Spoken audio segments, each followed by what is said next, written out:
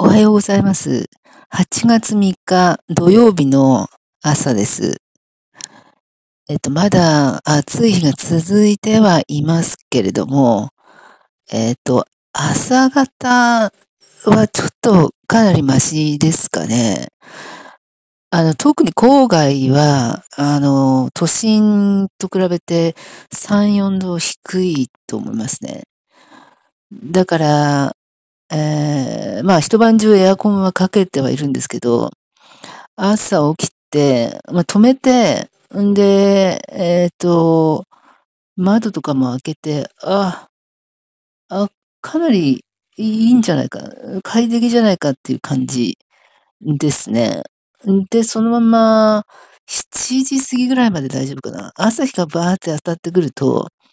それなりにもうちょっと暑くはなってくるかなって感じですかね。で、これが今日のお天気、天気予報ですね。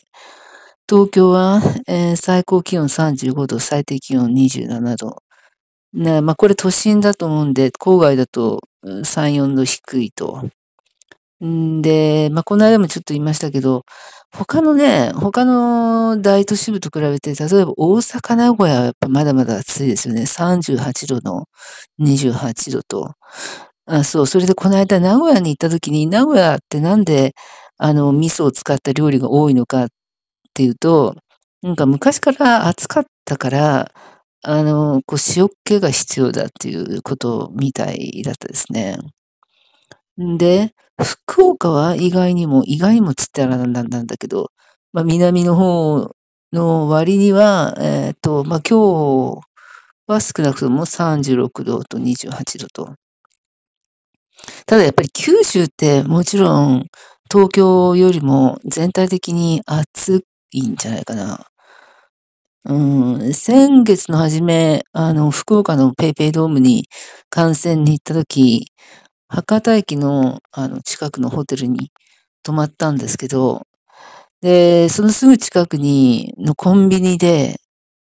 うわ、レジのね、上の壁の方を、結構大きいね、あの、はい。ゴキブリがね、うわーって壁伝い、壁をなんか、さって歩いててちょっと驚いたかな。あの、コンビニで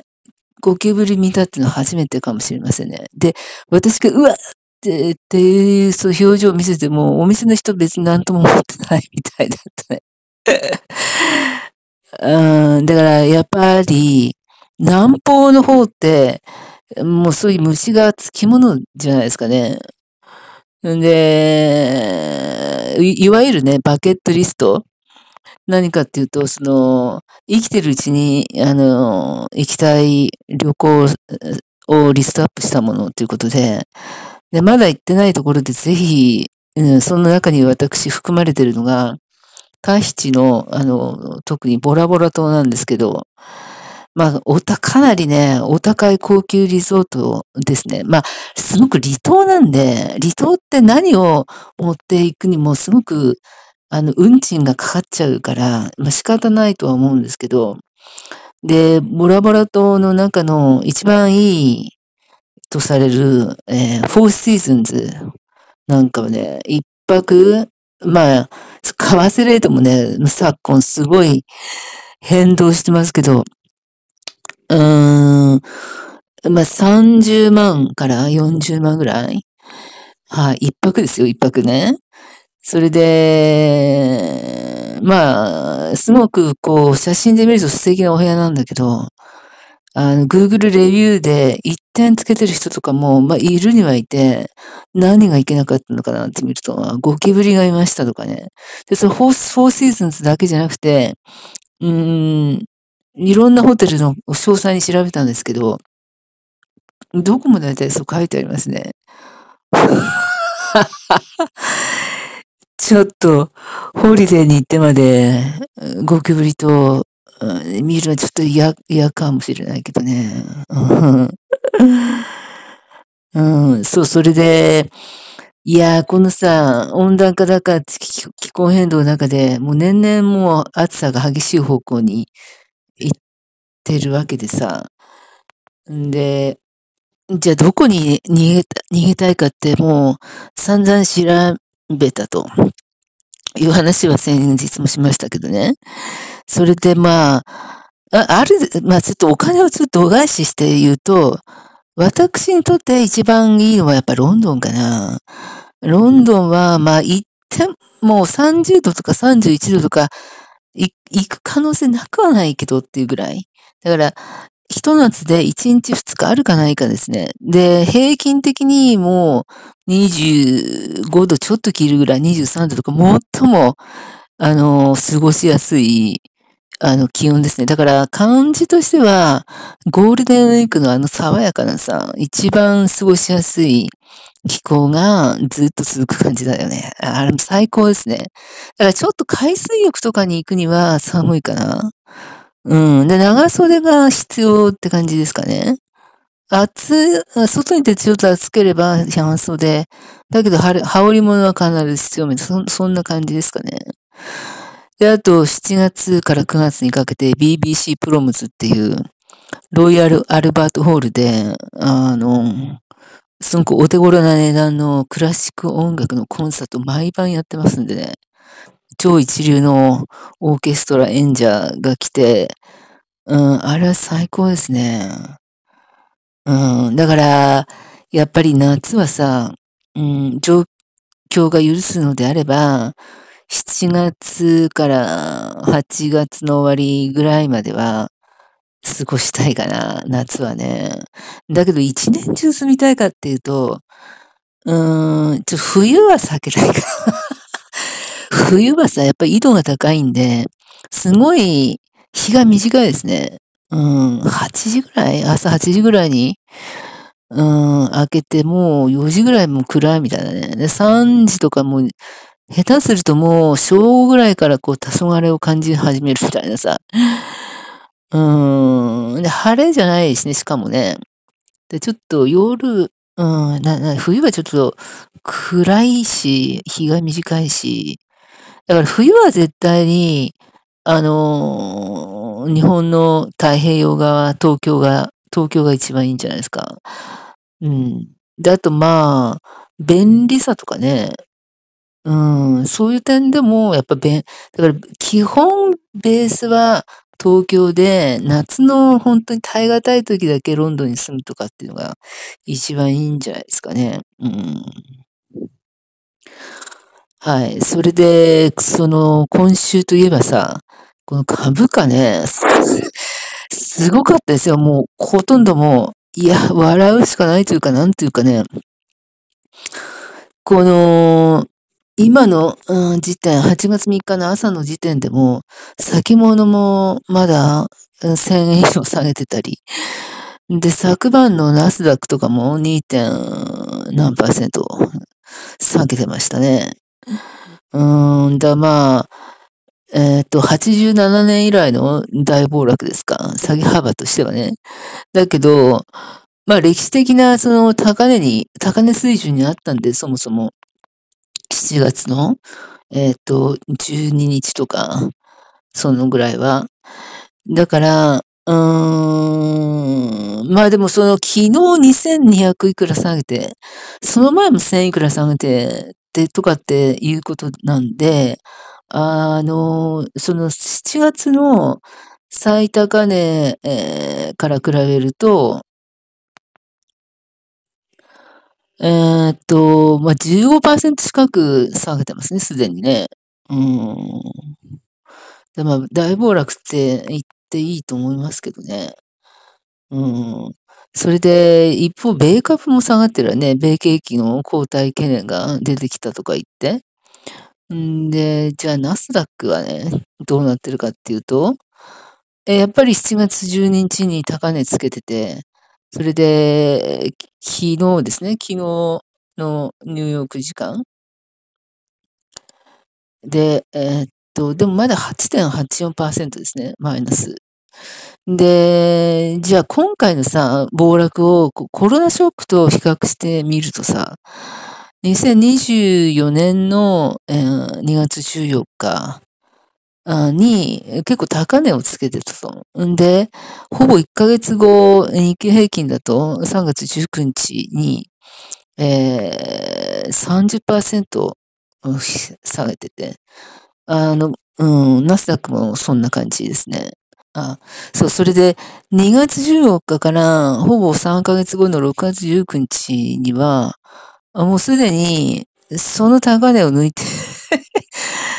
抜いて2.2%。で、さらに、ガーって上がって、その翌年の2月19日にはもうプラス42.5%だったと。だからさ、その、うわ、3割も下げちゃった、おしまいだとかって言って投げちゃったら3割損してたけど、ずっと気にしないでずっと1年持ってたら、あの、ほぼ1.5倍になってたっていうね。んで、日経営平均はもうそこまで差はないですけどね。で、戻すまでにもちょっと時間かかってますけどね。戻すまでに2月14日のほぼ同じ数字を戻すのに、えっ、と、10月だから8ヶ月もかかっちゃってるけどね。うん。だけど、やっぱり2月14日から翌年の2月19日には、プラスの26.72%。うん、今回の暴落がね、何なのか、ちょっとわかりませんけど、まあ、あの、まあ、一般的に言われてることをまとめると、えっ、ー、と、日銀が、えっ、ー、と、利上げしましたと。うん。で、それが円高方向に激しく触れましたと。そして、えっ、ー、と、雇用統計などから、米景気の、えーえー、その原則なり、交代なりが、えー、示唆されているということですね。うん。だけどさ、その、AI、AI ブームがバブルとかって言われていましたけど、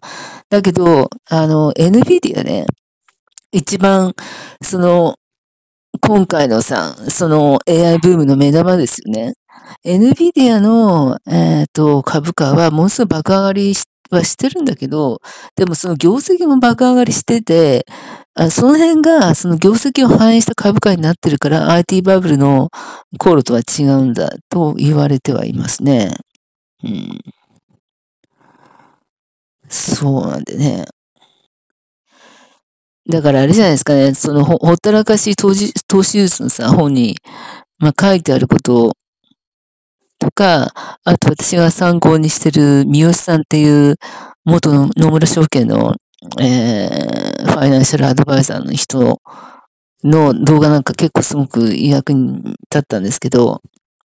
要はその急激な下落ともそう、そうだけど、急激な上昇もいつ起こるかか、もう全然わからないと。だから、で、でもその急激な上昇を取れないと、あの、結局儲からないと。で、例えばね、2000年から2020年の間、あの、全期間オルカンをガチホしてた場合、年平均でプラス6.1%。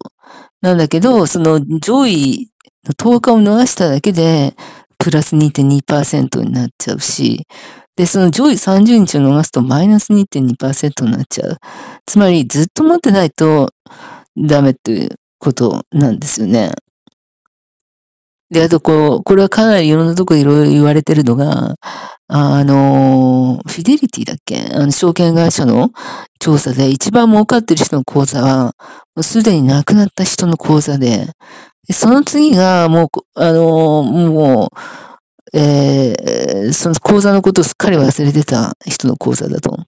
で、この三好さんもなんか動画で言ってたんだけど、野村証券に勤めた時もそうだって言ってましたね。だから、一番儲かっても2倍3倍とかになってる、あの、講座っていうのは、もう電話しても全然、あの、捕まらない90歳のおじいさんとか、あともう海外に引っ越しちゃって、ずっと講座ほったらかしてる人とか、そういう人だったらしいですね。で、でも株価が気になって気になって、もう毎日電話してくるお客さんほど、儲かってなかったって言ってます。だからさ、結論はさ、このようやくね、その円高とか言ったってさ、あの、やっと、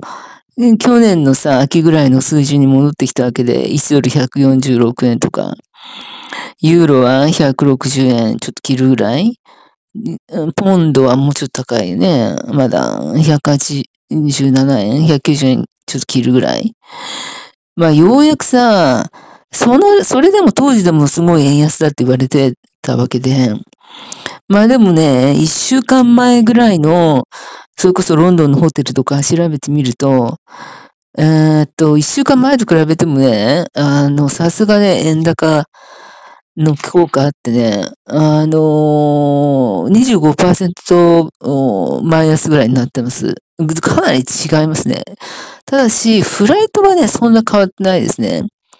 あんまりその、為替レートに振り回されないように、ある程度長期的に、あの、設定してるのかもしれないですけどね、フライトの場合は。うん。そう。で、ただそうね、9月にロンドンに行きたいかって、それちょっと微妙かな。なんかさ、その夏、やっぱりさ、ヨーロッパが一番いいのは、7月とか8月、8月も、中旬ぐらいまでじゃないですかね。下旬になってくるとちょっともう秋の気配がさ、感じられちゃって。で東京あたりだとさ、9月でもまだ暑いじゃないですか。だからその、その感覚で行くと、あ、もうなんか、すっかり、秋めいちゃってなんか夏の終わりのこの物、物寂しい感じがこう、色濃く出ちゃって、革ジャンとか、そんなの着ててちょうどいいぐらいですよ。うん。ちょっと、なんか、夏の終わりの悲しい感じがしちゃうかな。でもね、スコットランドのね、ネスコは私まだ行ったことがなくて、で、昨年11月に行きたかったんだけど、あのー、いろいろそのフライトの混乱だとか、あの、全体的にあったんで、まあ、今回はね、ちょっと、なるべく移動を少なくして、無難な旅行にしようと思って、ちょっと諦めたんですけど、んで、どっかのね、そうそう、そうそうそうそう、あのー、かつてね、仕事仲間のね、人がやってる、えー、なんかお笑い、バイリンガルお笑い、えーうん、ショーみたいのど、どこだっけなエイビスかなあのー、ブリティッシュパブでやってる、やってるの、行きませんかと誘い合って見に行った時に、えー、と、なんかスコットランドのね、出身の人たちも来てて、んで、この間、ネスコに行きそびれちゃったんで、またぜひね、行きたい、またっていうか、ぜひ行きたいんだけど、いつぐらいが一番いいですかねって言ったら、9月って言っ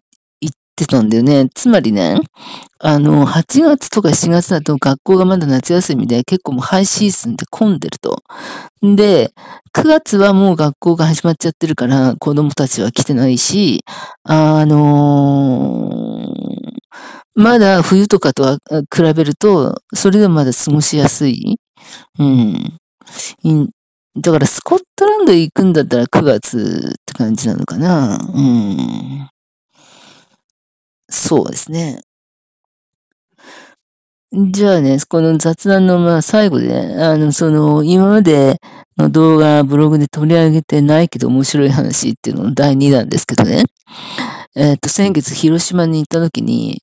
あの、去年の G8 広島サミットで使われたプリンスホテル、どんなもんだろうと思って、ちょっと、あの、行ってみたんですけどね。んで、ここが、あの、朝食の会場なんですけど、まあ、朝食はもうビュッフェで、あ、えっ、ー、と、和食の店、和食でちゃんと定食の店もあります。うん、私はビュッフェに行ってこんな感じで。んで、瀬戸内海がね、こうやって大きい窓越しにバーって、すごい広がってますね。うん。そ、それでいろんなさ、大小いろんな船が、大小っていうか、まあ、結構ちっちゃい船がいっぱい、あの、走ってて、これすごいなと思って。このものすごいちっちゃいさ、これなんだろうね、漁船よりもちっちゃい。個人の船って感じなのかなあ、そうそう。個人で船持ってる人いますって言ってたね。あの、ウェイトレスさんに聞いたら。そう、コンテナをさ、こんな風に牽引して、あの、航行してると、初めて見ましたね。これってさ、よっぽどさ、海が穏やかじゃないと、これできないですよね。うん、だから瀬戸内海ってものすごい穏やかなんだなと。東京湾とかさ、横浜港だ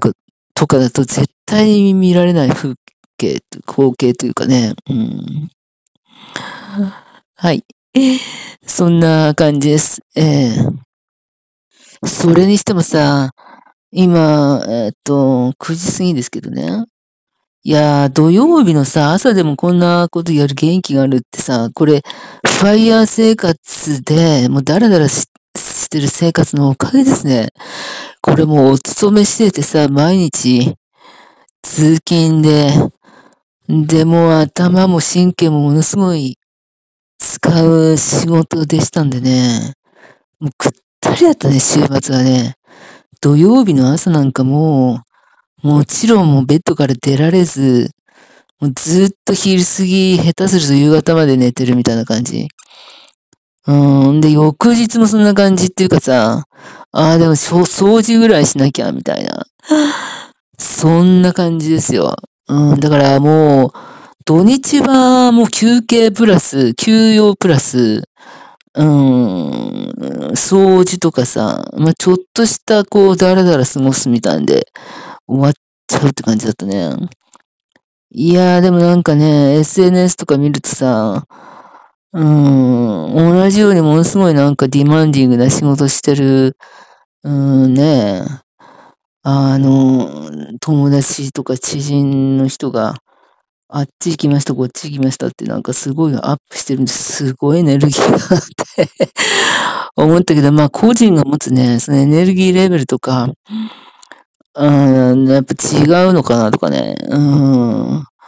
まあでもさ、今はさ、あの、もう、そういう遊びの活動のためにね、エネルギー貯める生活全然できてるんで、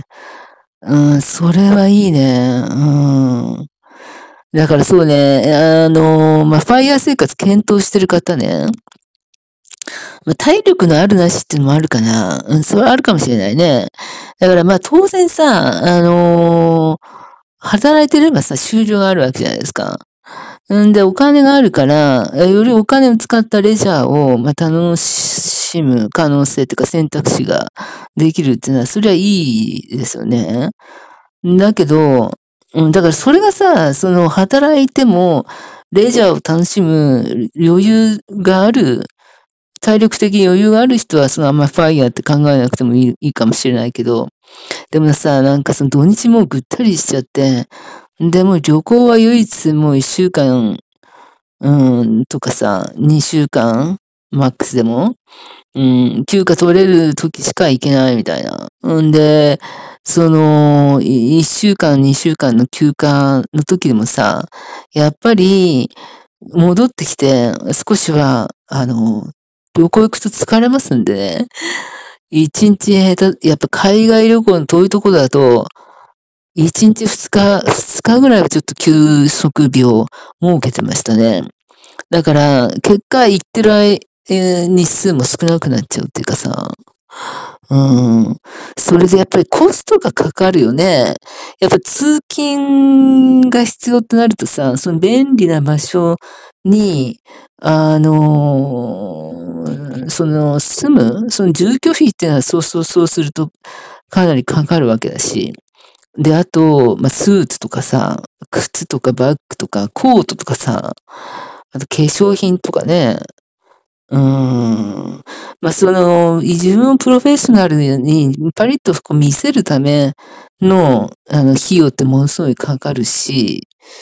うん。で、あとやっぱりほら、あの、休みが取れた時に行くしかない、ないから、それはその、いろいろ上司とか同僚とコーディネートしなきゃいけないとか、うん。そうですね。だから、あと、そうね。うん。あと、その何、ポジションね。なんか、何々部長とか、何々レベルとか。なんか、その部門長とかさ、そうそういう人たちの言うことを聞く、聞く、うん。聞かなきゃいけない、もちろん。あと、ルールがすごいあったわね。あの、そのちゃんとした組織ほど、ものすごい細かいルールたくさんあってさ、そういうの全部読んでさ、あの、間違いがないようにしなきゃいけないだとか、うん。で、そのルールもさ、いろいろその時代によって、細かいのがどんどんどんどんもう減り、減らないからね。なんだっけ、トランプのさ、トランプの時ってさ、なんだっけ、えー、っと、1個規制を作ったら2個なくすとかって、そんなのもやって、やってたけどさ、そんなの、その、例外的な、その、状況であって、ほとんどの会社とか組織とかは、コンプライアンスとか言ってどんどんどんどんルールが増えるわけでさ、それ全部覚えてなんか間違いがないようにしないといけないだとかさ、うん。まあ一般市民だとそこまでルールに縛られてないわね。法律はもちろん守んなきゃいけないけどさ、でもそれは別にさ、勤め人だって、その、善良な市民として生きる法律ための、その法律は、あの、その、ファイヤーだろうが、勤め人だろうが、そこは同じなわけじゃんね。だから、勤め人のさ、そのルールの負担っていうのは、もうさらにプラスアルファ、そのアルファがものすごいでかいっていうの。うん。まあ、一言で言うと楽ですね、すごくね。楽は、楽は楽だな。ただ、そうね、なんかこう、達成感とかね、うん、なんか、何かをやって誰かに褒められるとか、感謝されるとかね。そういう機会は、まあ、働いてる時の方があったかな。まあ今でもさ、そのなくはないんだけど、でもそうね、そういう報酬系を求めるメンタリティがそもそも、なんていうか、なくなったかな。まあ、私の場合、なんていうの、その、まあ、目標というかね、ここまで行きたいっていうのがあって、大体、そうね、大体それは全部、うん、ほぼ全部達成したかな。うん。だからもう、燃え尽き症候群ってわけじゃないけど、それに近いものもあるかもしれないね。うん。ただまあ、それにしてもまだもうちょっと、あの、若いんで、うん、なんかね、もうちょっと刺激的なことやりたいとは思いますけどね。うん、そう、それでその、投資とかね、よ、よかったんだけど、でも結局さ、あのー、あれですよ。結論はさ、SP500、うん、か、ナスダック、まあ、オルカンでもいいんで、まあ、その組み合わせでもいいんだけど、その三つのうちどれかまたは組み合わせののガチ法が一番いいってことだよね。あと、もしやるんだったら、その SP500 を、500を過去5年の株価でアウトパフォーマンスしてる本当に超有料会社三菱商事とかさ、あと、東京海上とか、うん、そういった会社の株を安い時に仕入れてずっと持ってるっていうのが正解なんじゃないですかね。うん。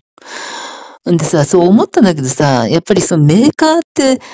リスクがあるわね。トヨタみたいなさ、すごい大きい世界的な大企業でも、まあこんな、なんだっけ。えー、なんだかあんまり詳しく追ってないけど、当局に何か言われちゃってんですもんね。うん。あと何？あの、エアバッグの、とか、いろんなそのもの作ってさ、それを完璧に作動するとか、全世界で。それちょっとまあ、ちょっとまあ、どっかに無理が出ちゃうのはさ、日本みたいな完璧主義な国の、その大企業でも無理がある、ということでさ、で一方さ、例えばさ、総合商社とかさ、そこまでなんていうの、あの、昔ね、ななんか、うん、丸紅、うんなんだっけ。全、ま、えっと、ロッキーの事件ですか。丸紅全日空ルートとかいろいろもう、そう思う、俺その私が子供、子供の時のもう、ほんと大昔の話でさ、そ、そのメーカーと比べて、あの、総合商社とかそういうのないわね。あと、ああ、損保とかだけどあれか、ビッグモーターとか言って、損保ジャパンが、なんか、なんか、うん、問題になってたけど、でも東京会場って全然そういうのってない、ないじゃんね。そう、だから、あれじゃない？ポイントはさ、あの、もう、チャート見ても、長期で見て、まあ、多少のアップダウンはあるにせよ、右肩上がりで、SP500 をアウトパフォームし、アウトパフォームしてて、それで、その、なんか、不正問題とか、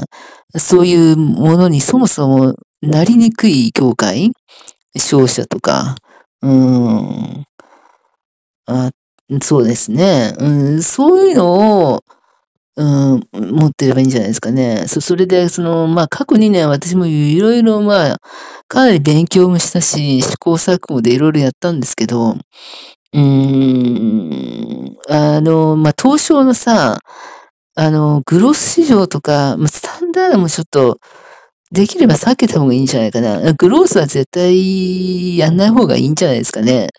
うん、なんか、その人工ダイヤモンドを作ってる EDP っていう会社とか、あの、朝倉系チャンネルの長谷川さんって人がものすごいなんか絶賛でお勧めしてて、で、私もその説明見たり自分でいろいろ調べていいんじゃないかと。で、あのね、経済産業省のさ、研究所である、その産業技術総合研究所から、あの、スピンアウトした技術っていうことで、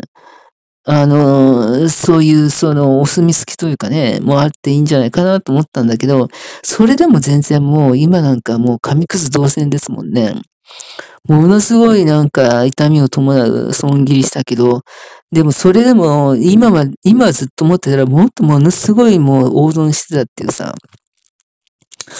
そういうことはさ、あの、その、東証プライムのもう超一流企業、三菱商事とか東京海上とか、あるいは積水ハウスなんかも結構伸びてますね。で、最近アメリカの会社を買収してアメリカにも本格進出しているっていうことだし、うん。あ、でも実際にね、あの自分が積水ハウスにずっと住んでて、あの、その、なんかすごくいいということを、なんていうの、その根本的な家の構造とか、うん、そういうものがちゃんとしてると、ただね、まあ、積水もさ、あの、営業マンによってちょっとね、ばらつきがあるのは確かですけどね。うん、まあでも今は、あのー、あのー、非常にまともな営業マンになって、うん、問題ないないですね。まあお互いはお互いけどね。値引きしないんで絶対に。そうなんだよ。だから、あの、その、お客さんにとってはさ、客にとっては、あの、ちょっと、お高いなって感じなんだけど、株主として見れば、つまりさ、それだけ利益の取りっぱぐれしてないっていうことで、株主としてはいいんだよね。まあそんな感じでちょっとあれだとね、話が長くなっちゃいましたけど。まあね、暑さもね、まあだんだんさ、あの、その、夏至が6月の下旬？うん。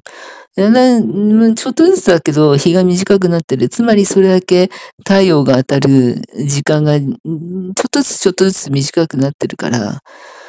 あの、まあ、残暑もね、厳しいかわかりませんけどね。まあでもさ、先月は、うん、7月、120何年のうち一番暑い夏だったとかね。そんな感じだわね。まあ、とにかく、あの暑いけど、ご自愛の上、あのね、ぜひ、あの、良い週末を皆さん、お過ごしくださいませ。それではまた。